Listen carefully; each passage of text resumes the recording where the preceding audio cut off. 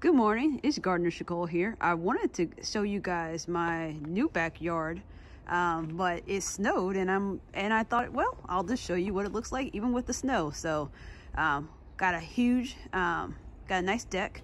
I got a shed that is twice as big as my last shed, and this nice little patio. But what I really want to show you guys, and I'm gonna have to walk across this snow, is the rest of the yard.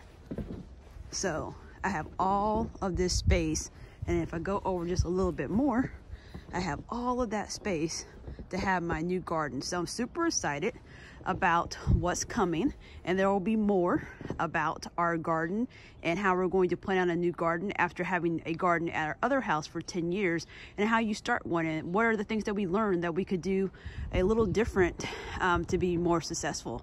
So that is our, this is our new space and you'll be hearing more from us soon.